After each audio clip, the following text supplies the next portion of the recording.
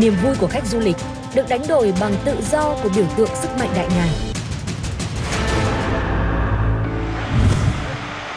Nhưng cách đó chỉ vài cây số, cũng là những chú voi nhà nhưng lại được tự do trong thiên nhiên dù chúng cũng đang làm du lịch. Đây là một tour du lịch thân thiện với voi trong vườn quốc gia York Khách tới đây thì mình sẽ đi ngắm voi. Mình vào rừng này, mình đi theo chân hướng dẫn viên tìm tới những cái nơi mà voi đang ăn uống.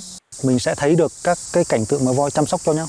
Lấy voi, động chạm vào cơ thể đối phương để mà tìm hiểu xem sức khỏe của bạn mình thế nào. Những con voi tham gia mô hình này như Bun Khăm được tự do đi lại, tự do lựa chọn đồ ăn và tự do kết bạn. Đó là những yếu tố mà du lịch thân thiện với voi đặt lên hàng đầu.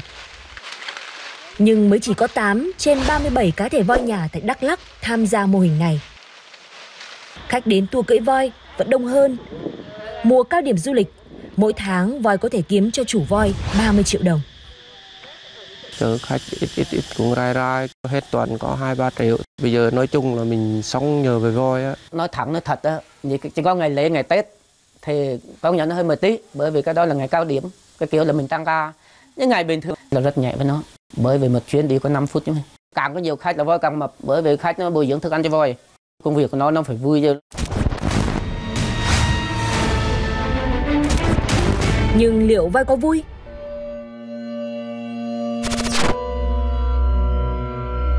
Voi hàng ngày thì cái thời gian ăn của nó lên tới phải khoảng 12 đến 16 tiếng.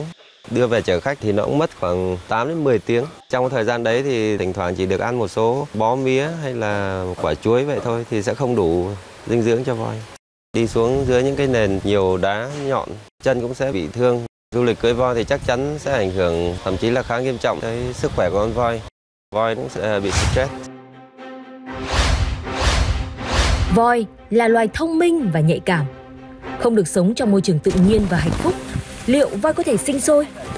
Đã có đề án sinh sản cho voi nhà, ba lần mang thai, nhưng voi con đều chết trong bụng mẹ.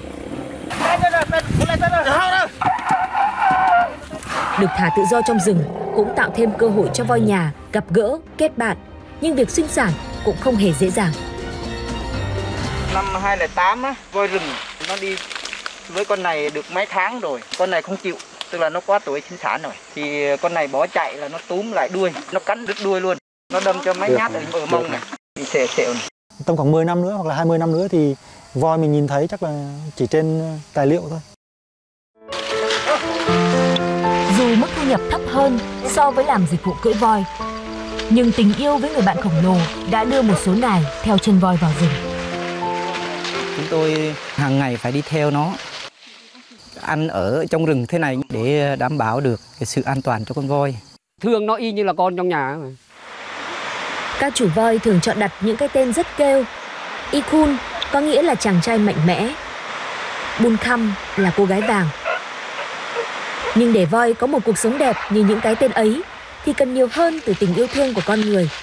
Cần có những thay đổi trong cách ứng xử với voi. Đó cũng là cách để chúng ta còn được nhìn thấy hình ảnh của những chú voi mạnh mẽ, hạnh phúc trong tự nhiên.